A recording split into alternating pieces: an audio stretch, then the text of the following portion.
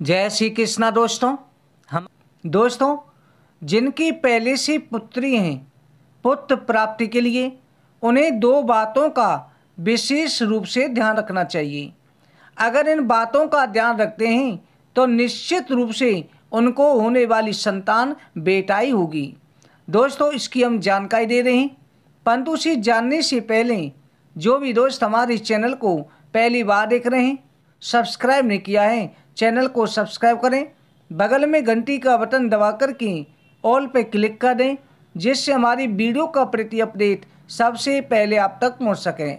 दोस्तों, सबसे पहला तो पति पत्नी को अपनी जन्म पत्री का विशेषण ज़रूर करवाना चाहिए कि जन्म पत्री के अंदर आपके पुत्र प्राप्ति के योग हैं और किस वर्ष हैं और कितने परसेंट हैं।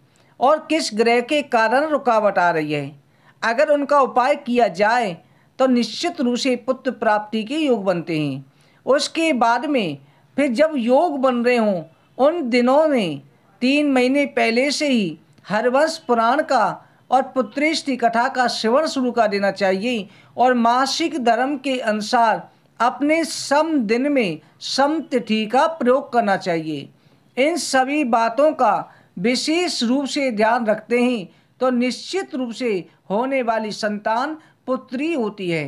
तो दोस्तों, ये हमने पुत्र प्राप्ति के लिए आपको जानकारी दी। आगे की वीडियो में और भी जानकारी साथ मिलेंगे। अगर हमारी जानकारी अच्छी लगी हो, वीडियो को लाइक और शेयर ज़रूर करें। आप सभी को जय श्री कृष्ण।